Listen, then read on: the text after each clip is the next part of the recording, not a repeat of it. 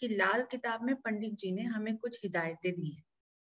जो लोग लाल किताब पढ़ रहे हैं या उसको प्रैक्टिस करेंगे, उसकी कुछ सावधानियाँ जो है, वो आपको बरतनी पड़ेगी। सावधानी क्या है? सावधानी पंडित जी ये कहते हैं कि भाई, आप चाहे कोई भी विद्या करें, एक तो उस विद्या में आपको ईमानदारी ज़रूर होनी चाहिए। दूसरी जो वो विद्या के अपने रूल्स हैं, जहाँ पे वो आपको रिस्ट्रिक्शंस लगाती हैं, वो रिस्ट्रिक्शंस को फॉलो ज़रूर करने हैं आपने। यानी वो हमसे ये कह रहे हैं कि लाल किताब आपको पूरा बता देगी कि सामने वाले का मौत का दिन क्या होगा, लेकिन आपने उसको नहीं बताना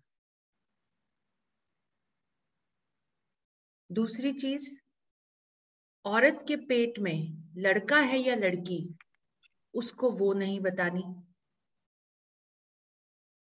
अगर आपने ये दोनों रूल्स को फॉलो नहीं किया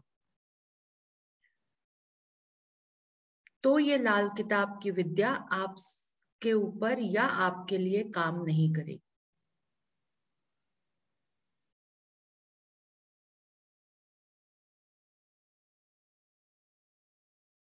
तीसरा रूल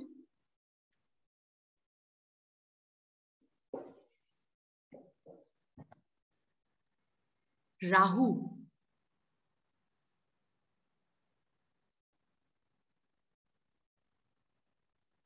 को आपने बेफजूल नहीं छूना।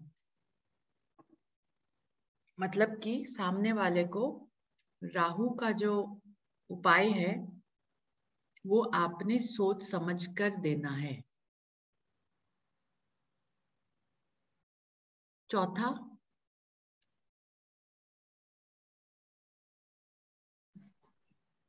कभी भी आपने लाल किताब के उपाय किसी के अहित में इस्तेमाल नहीं करवाने।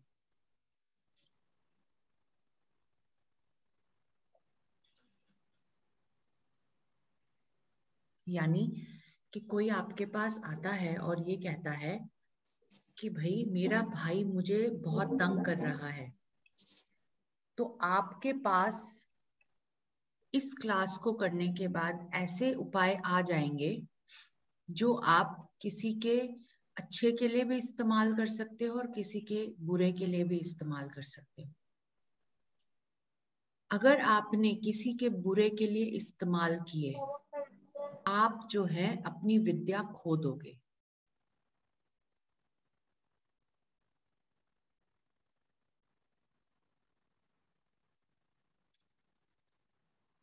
पंडित जी ने एक लाइन कही है, कर भला तो हो भला। अगर तू किसी का भला करेगा तो तेरा भी भला करेगा ऊपर वाला। अगर तू किसी का बुरा करेगा तो तेरे साथ भी वही होगा। तो ये कुछ सावधानियाँ हैं जो हर लाल किताबी को बरतनी चाहिए। और यकीन मानिए कि जब आप इन लाइंस पे चलते हो तो पंडित जी आपको स्वयं अपने आप ये सारी विद्या जो है वो सिखा देंगे। बहुत आसान हो जाएगा आपके लिए इसको समझना।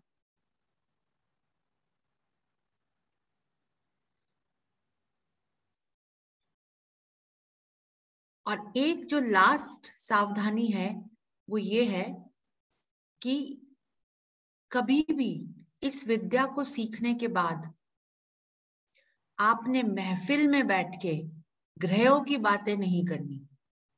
होता है ना कई बार कि हम कहीं बैठे होते हैं और हमने कुछ नई चीज़ सीखी होती है।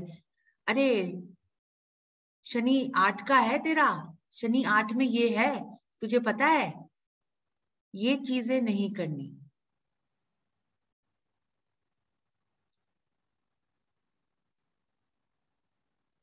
तो ये लाल किताब कुछ सावधानियाँ देती हैं।